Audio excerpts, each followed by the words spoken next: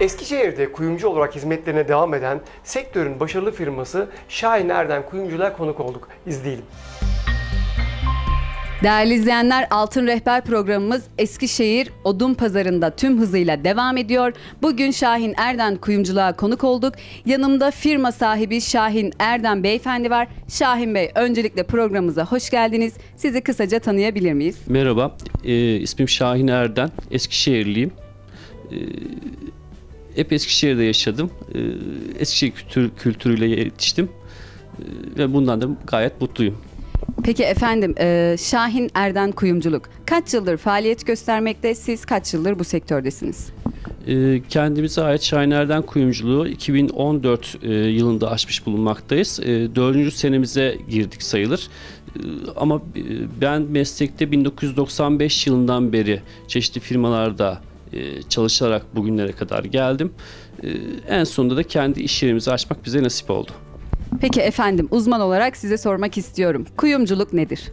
Kuyumculuk e, günümüzde teknolojiyi kullanarak e, insanlığın geçmiş çağlardan itibaren e, bilgi birikimi ve e, estetik anlayışını bir araya getirerek oluşturduğu takı, e, mücevher e, gruplarını işleyen ve satan kişiye denir.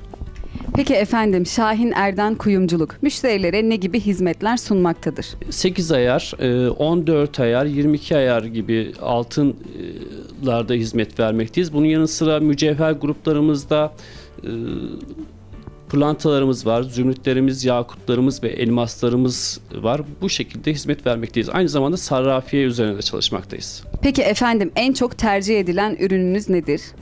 E, bugünlerde e, demeyeyim yani e, son yıllarda bir trend oluştu tektaş yüzük e, grubunda pırlanta olarak. Bunun sebebi de özel günlere insanların verdiği önemler arttı. Evlilik yıl dönümleri, evlilik teklifleri, nişanlar, düğünler şeklinde. Burada insanlarımız olmazsa olmazımız yani aşkı simgeleyen tektaş yüzüklere önem vermekte ve en çok satılan grup şu anda onlar. Peki Şahin Bey, e, kuyumculukta hedefleriniz nelerdir? Biraz da bunlardan konuşalım. Kuyumculukta hedeflerimiz e, mağazamızda e, güvenilir olmak, müşterimize daha hizmet etmek, e, daha iyi ürünler sunabilmek, modayı takip edebilmek. E, amacımız hep bunlar. Peki meslekte olmazsa olmaz, olmazınız nedir? Bana göre meslekte olmazsa olmazımız e, kuyumculuk için geçerli. Gerçi her meslek için geçerli ama güvendir. Peki efendim e, son olarak şunu sormak isti- istiyorum. Diğer işletmelerden farklı olarak müşterilere ne gibi hizmetler sunmaktasınız? Müşteriler neden Şahin Erden Kuyumculuğu tercih etmeli?